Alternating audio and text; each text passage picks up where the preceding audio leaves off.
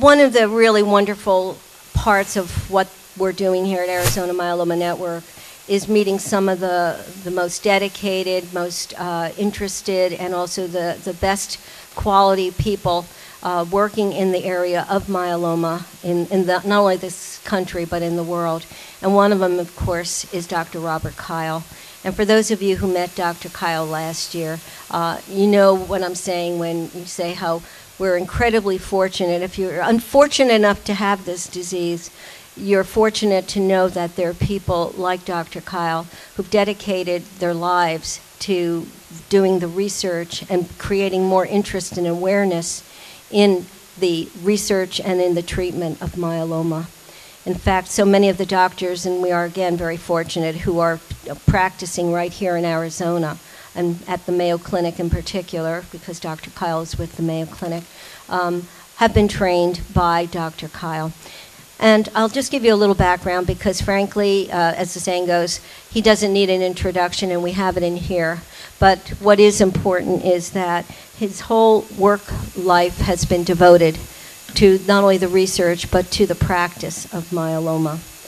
And he is with uh, the Mayo Clinic in Rochester, Minnesota and is the uh, William H. Donner Professor of Medicine and Laboratory Medicine, and was the section head and chairman of the Division of Hematology. He uh, got his medical training at Northwestern University Medical School and also did internship in internal medicine and training at Mayo Clinic. And he's also on the boards of international uh, organizations and uh, myeloma as well as scientific advisory committees.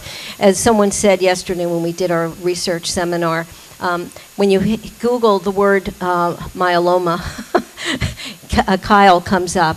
And if you in, uh, and if you Google Dr. Kyle's name, you have so many. I think it was something like a thousand papers and so on. So I won't go through the whole list. Instead, I'm going to have the man himself come up here and educate us as he does. And uh, we welcome Dr. Robert Kyle.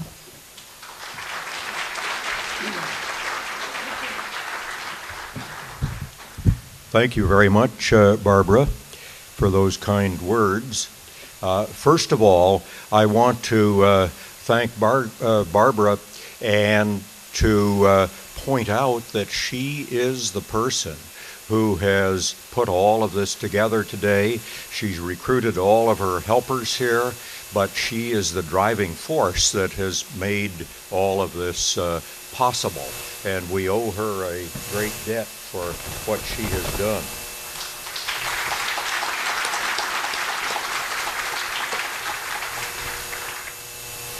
It's a pleasure for me to be here again.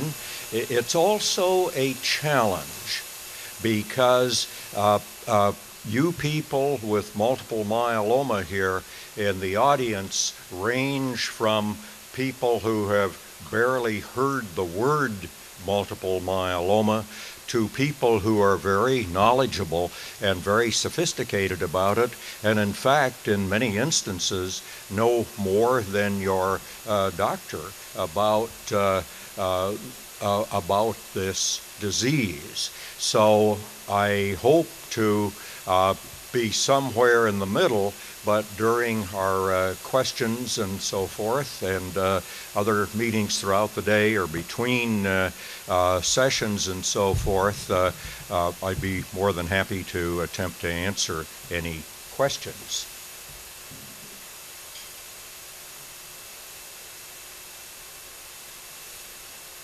Let's see.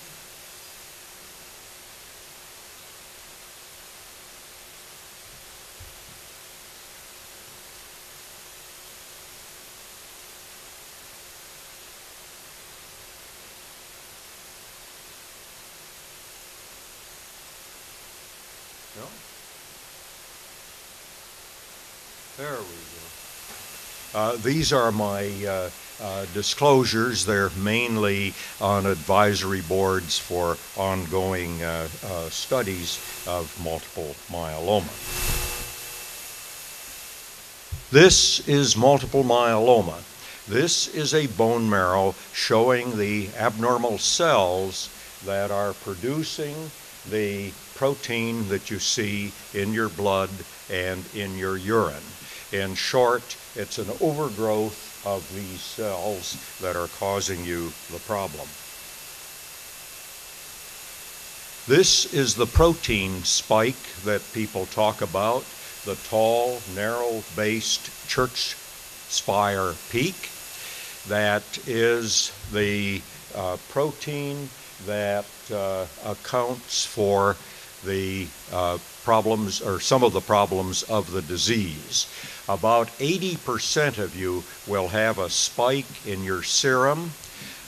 Between 15 and 20% will have only light chains in the blood and urine, and you will have oftentimes no spike in the serum, but your urine will have that spike.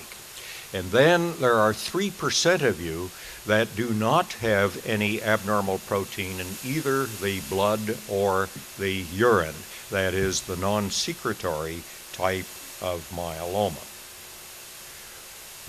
All three types uh, are equally important. First of all, one must make a diagnosis, and the diagnosis consists of the presence of an M protein that's a monoclonal protein in the blood or in the urine, an increase in plasma cells that are monoclonal in the bone marrow, and as I mentioned a moment ago, those are the cells that produce the disease. And then, most importantly, you must have damage from the uh, cells and or the protein, and you can remember that by the simple word CRAB, CRAB for cancer, and the C means elevated calcium in the blood, R is renal or kidney uh, insufficiency. A, A is anemia, and B are bone lesions. I want to emphasize the entity smoldering multiple myeloma.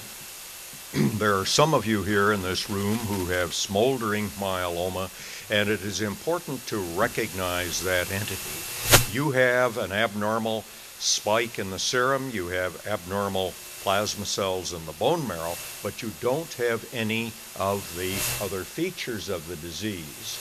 Uh, your Anemia uh, is non existent. Your calcium and creatinine are normal, and you have no bone lesions. In other words, no organ damage. About 20% of patients with multiple myeloma will have smoldering multiple myeloma, and it's important that you be observed. Uh, we're in the process of attempting to pick out those patients with smoldering myeloma who are at the highest risk for progression, and then to utilize prospective studies in which you would be randomized to treatment or no treatment, and then followed to see what uh, benefit might occur. But at the moment, sit tight and continue to see your doctor uh, your risk of progression of smoldering myeloma is about 10% per year for the first five years. And then that means that at five years, half of you will still be smoldering. Then for the next five years, the risk falls to about 3% per year. And then after that, it's 1 to 2% per year. So if you have smoldering myeloma, hang in there. Uh, the future is better than the present.